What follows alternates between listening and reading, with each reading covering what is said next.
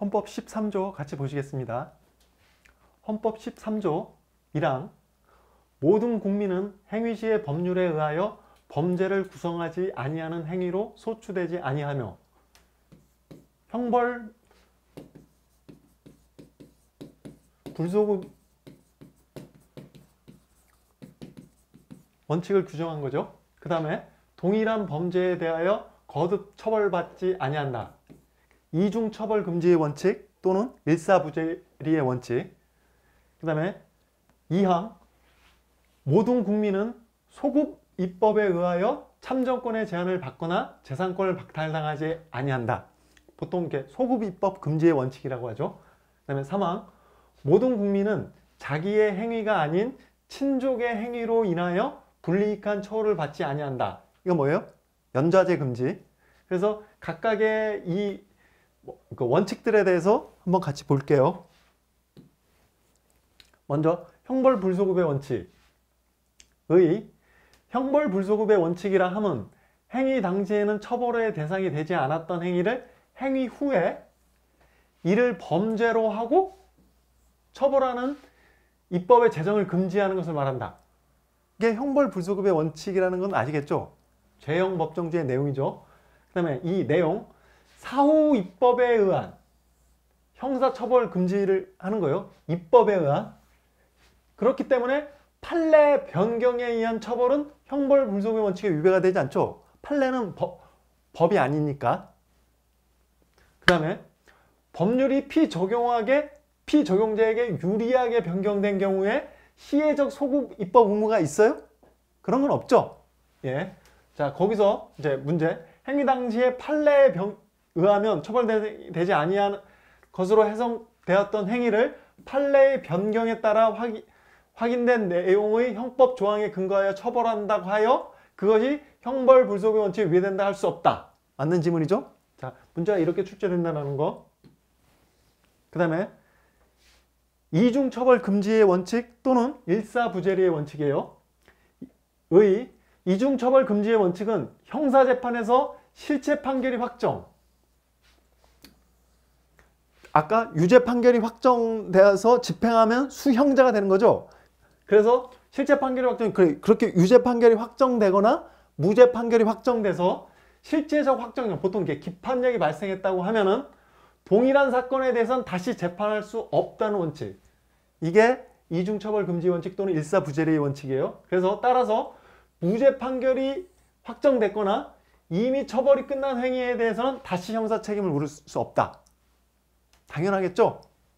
그 다음에 이 내용 여기서 이 처벌이라 하면 범죄에 대한 국가의 형벌권 실행으로서의 과벌만을 의미하는 거예요. 그래서 국가가 행하는 일체의 제재나 처벌 모두 그 처벌에 포함시킬 수는 없다. 그래서 이중 처벌 금지의 원칙에서 말하는 처벌은 형벌권 실행으로서의 과벌. 그 다음에 동일한 행위에 대해 거듭 처벌을 금지한다고 했을 때 이 동일성이 있는지 여부는 기본적 사실관계를 보고 판단. 그래서 기본적 사실관계의 동일성 여부로 판단하는데 선생님 그게 기본적 사실관계의 동일성이 뭐예요? 여기 그러니까 요 판례를 보고 한번 딱 그 받아들이면 돼요. 건축법 위반의 무단 용도 변경에 대해서 형벌을 부과했는데 거기 거기에 대해서 무단 용도 변경에 대해서 다시 그거 네가 무단 용도 변경했으니까 시정 시정해라 하고 시정 명령을 내렸는데 시정 명령을 또 불이행한 거예요. 거기에서 과태료를 이제 부과를 이렇게 하게 된 건데는 처벌 내지 제재의 대상이 되는 기본적 사실관계로서의 행위를 달리하는 뭐가 무단 용도 변경이라는 행위하고 시정 명령을 위반이라는 행위 이게 기본적 사실관계의 동일성이 없다고 없다고 봐야겠죠. 그래서 이렇게 판단하는 거예요. 그래서 다른 행위라는 의미에서 이중 처벌 그러니까 이중 처벌이 아니라고 본다. 기본적 사실관계 동일성이 인정되지 않는다라는 거예요. 그래서 이 그러니까 문제는 어떻게 나누는 거예요? 이중 처벌 금지 원칙은 처벌 또는 제재가 동일한 행위를 대상으로 행해질 때 적용될 수 있는 것이므로 행위가 서로 다를 경우 이런 거죠. 얘는 이 원칙이 적용되지 않는다. 그 다음에 이중처벌 금지 원칙이 적용되는 대상이 동일한 행위인지 여부는 기본적 사실관계가 동일한지 여부 이렇게 이제 출제가 되는 거예요. 그 다음에 3번 소구입법에 의한 참정권, 재산권 박탈 금지 아까 헌법 규정이 있었는데 이는 법치국가 원리인 소급 입법 금지의 원칙이 표현된 것인데 여기서의 소급 입법은 진정 소급 입법을 의미하는 거예요. 왜냐? 부진정 소급 입법은 원칙적으로 허용되기 때문인 거죠. 진정 소급 입법은 원칙적으로 금지되고 극히 예외적으로 허용되는데 그러면 선생님 진정 소급 입법이 뭐, 뭔가요? 진정 소급 입법이란 이미 과거에 종료된 사실 사실관계 또는 법률관계에 대해 사후에 그 전과 다른 법적 효과를 발생. 그러니까 이미 완성된 사실관계 이미 종료된 사실관계 또는 법률관계에 대해서 사후에 그것과 다른 법적 효과를 발생시키게 만드는 입법을 말하는 거예요. 그런데 이거 원칙적으로 금지돼요. 근데 예외적으로 인정되는데 대표적인 게 그 친일 재산 환수하는 그런 거죠. 그래서 극히 예외적으로 인정되는데 어떤 소구입법이 예상될 될 수 있거나 법적 상태가 불확실하고 혼란스러워 보호할 만한 신뢰이익이 적거나 소구입법에 의한 피해가 적거나 아주 경미하거나 아주 중대한 공익상의 이유가 존재하는 이런 극히 예외적인 경우에 진정소구입법이 인정되고 원칙적으로는 금지돼요. 그 다음에 연좌제 금지 연좌제란 친족의 행위와 본인 간의 실질적으로 의미 있는 아무런 관련성을 인정할 수 없음에도 불구하고 오로지 친족이라는 사유 그 자체만으로 불리한 처우를 가하는 것을 말하는데 이건 뭐예요? 자기 책임하고 개인 책임 원리에 반하게 되죠. 남의 행위로 인해서. 그래서 연좌제는 원칙적으로 금지돼요. 그래서 친족의 행위라고만 얘기했지만 민법상 친족에 국한되지 않으면 다른 모든 사람, 그러니까 다른 사람의 행위로 인해서 그러니까 내가 책임이 없음에도 불구하고 그 사람 때문에 어떤 관계 때문에 이 사람까지 처벌하는 건 말도 안 된다라는 거죠. 그, 리고 여기서 불이익한 처우라면 형법상의 불이익을 포함하여 모든 영역에, 있어, 영역에 있어서 불이익을 말하는 거예요. 그러니까 처, 형법상의 처벌에 국한되지 않는다라는 거. 근데 이제 요 판례는 좀그 주의해서 보셔야죠. 연좌제 금지에 위배되지 않는 경우 말하는 건데 다른 사람의 행위를 자신의 행위로 볼 수 있거나 자기 책임으로 볼 수 보아야 하는 경우에는 예를 들어 선거 사무장의 처벌, 그 다음에 배우자의 중대한 선거범죄, 회계 책임자 형사 책임을 이유로 후보자의 당선을 무효라는 건 이건 자기 자기 책임 자신의 행위를 볼 수가 있는 거죠. 그래서 연좌자의 금지에 위배되지 않는다고 한 요 판례. 그 다음에 아까 부진적 소급 입법은 원칙적으로 허용된다 그랬죠. 그래서 아직 완성되지 아니한 하고 진행 과정에 있는 사실 또는 사실관계 또는 법률관계를 규율의 대상으로 하는 게 부진정 소급 입법인데 이거는 원칙적으로 허용.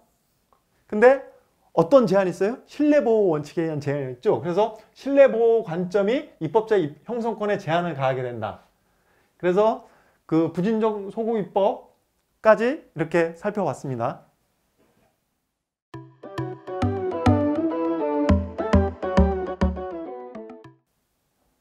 14조 같이 보시겠습니다.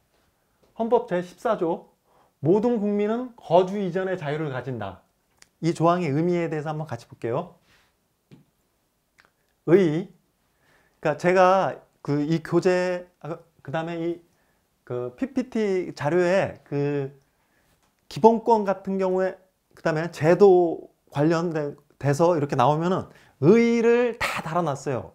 그러니까 아주 이렇게 교수님들 교과서를 이렇게 여러 권 가져다 놓고 가장 정의가 잘 돼, 깨끗한 정의가 돼 있는 거를 가지고 이제 정의를 붙였고, 그 다음에 헌법재판소 판례들 중에서 그, 그 정의가 아주 명료한 문장들로만 다, 그러니까 모든 기본권하고 어떤 제도를 설명할 때, 그 다음에 그 통치 구조 쪽에서 그 조문 설명할 때도 의의를 되도록이면 다, 다 집어넣었어요. 그러니까 왜 그러냐면 그 헌법 조문 자체가 너무 추상적이어서 그냥 두루뭉실하게 이렇게 읽어가면은 그냥 뜬구름 잡는 얘기일 것 같아서 그렇게 느끼기 굉장히 쉬워요. 그래서 그러니까 제가 되도록이면 의의를 다 달았으니까 그 의의를 바탕으로 해서 계속 이렇게 파고 들어가세요. 그래서 판례로 바로 들어가시지 말고 의의를 딱 보시고 머릿속에 자꾸 이렇게 체득하려고. 그래서 이제 자꾸 와닿, 자꾸만 이렇게 와닿게 그 느끼시면서 이렇게 판례라든지 이렇게 접근하시는 게 좋아요. 자꾸 이렇게 뜬구름 잡는 식으로 아, 너무 추상적 이렇게 생각하지 말고 자꾸 의의에서 출발, 출발 하세요. 거주 이전의 자유, 의. 거주 이전의 자유는 국가 권력의 간섭을 받지 않고 자, 자유롭게 거주지와 체류지를 결정할 수 있는 자유다. 거주하고 체류가 뭐예요? 거주는 일정한 장소를 생활의 중심지, 주로 주소지가 되죠. 사물에는 의사를 가지고 자리를 잡고 사는 것을 말하고 체류란 일시적으로 머무는 것. 그러니까 불법 체류할 때 그 일시적으로 머무는 걸 체류. 그래서 자유롭게 거주지와 체류지를 결정할 수 있는 자유. 그러니까 이렇게 의의를 딱 가지고 들어가시면 돼요.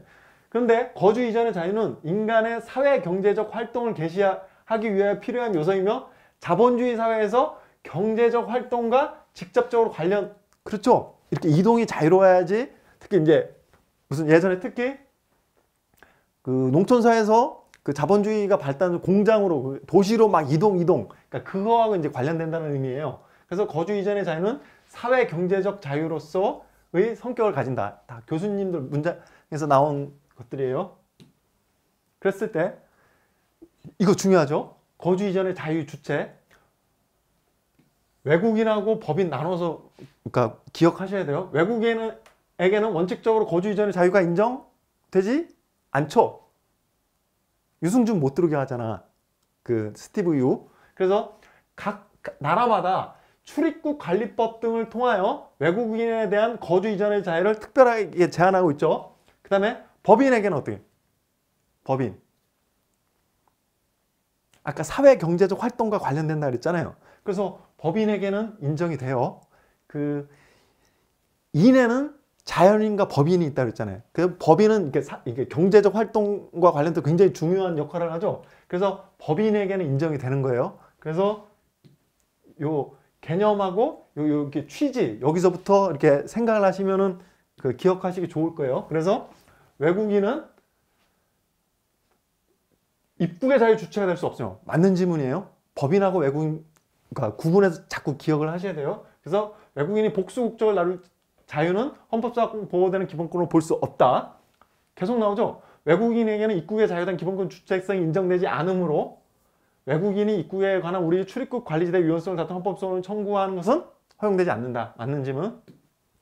그 다음에 거주 이전의 자유의 내용인데 국내 거주 이전의 자유 국내에서 자유롭게 아까 거주지 주소, 주로 주소지 생활의 중심지 체류지 일시적으로 머무는 곳을 결정 변경할 수 있다. 그 다음에 국외 거주 이전의 자유. 이거 이게 중요하죠. 거주 이전의 자유는 출국, 입국의 자유, 그 다음에 해외 여행의 자유, 그 다음에 국외 이주, 이주의 자유. 아 이런 거 다 포함되겠죠. 사회 경제적으로.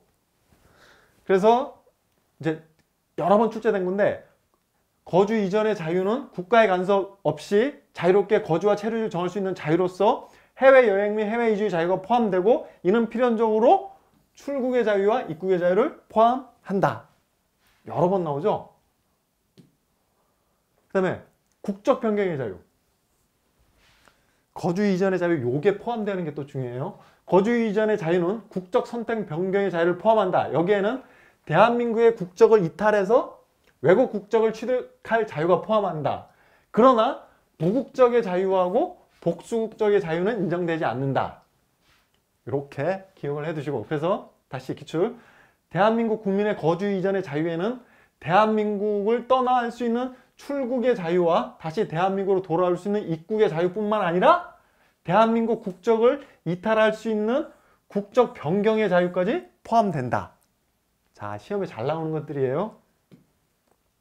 그래서 보시면 이렇게 하고 해외여행 및 해외 이주의 자유를 포함하고 국적 변경의 자유도 포함되는데 이런 해외여행 및 이주의 자유에는 필연적으로 출국의 자유하고 입국의 자유를 포함한다. 그래서 쭉 이렇게 길게 나와서 어, 이게 뭐 이렇게 길어 막 그러겠지만 나아가 국에서 국외에서 체류 자유롭게 정할 수 있는 해외 여행 및 해외 이주의 자유를 포함하고 국적 변경의 자유를 포함한다. 그러니까 요걸 묻기 위해서 이렇게 질문을 길게 구성한 거예요. 그 다음에 요 판례는 좀 기억하실 또 필요가 있죠. 거주의 이전의 자유의 내용으로서 거주인의 자유가 국민에게 그가 선택할 직업 내지 그, 그가 취임할 공직을 그가 선택하는 임의의 장소에서 자유롭게 행사할 수 있는 권리까지 보장하는 것은 아니다. 그 시험에 붙었다고 해서 내, 뭐 내 고향이라든지 아니면 어디 내가 원하는 어떤 장소에서 나 여기서 근무할 수 있게 해주세요. 그러면은 그게 거주 이전의 자유의 보호에는 포함된다고 볼 수 없겠죠. 그래서 이게 또 잘 나오죠. 그래 거주 이전의 자유가 국민에게 그가 선택할 직업 내지 취임할 공직을 그가 선택하는 임의의 장소에서 자유롭게 행사할 수 있는 권리까지 포함한 것은 아니다라는 거. 자, 이렇게 거주 이전의 자유까지 살펴봤습니다.